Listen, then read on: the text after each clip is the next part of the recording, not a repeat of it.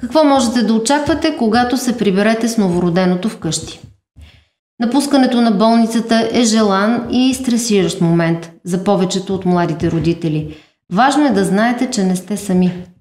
Детето ще бъде посетено от педиатъра в рамките на първите 24 до 48 часа, за да се дадат най-общи съвети за кърмене, отглеждане на детето и да се отговори на въпросите на майката. След изтичане на този период, детето трябва да бъде преглеждано един път седмично по предварителна оговорка или чрез домашна визита или в кабинета на личния лекар. Грижете се добре за себе си, давайте си възможност за почивка, така ще се грижите по-лесно и за детето. Когато свикнете с новия си начин на живот, ще имате достатъчно свободно време и за среща с приятели, дори за развлечения.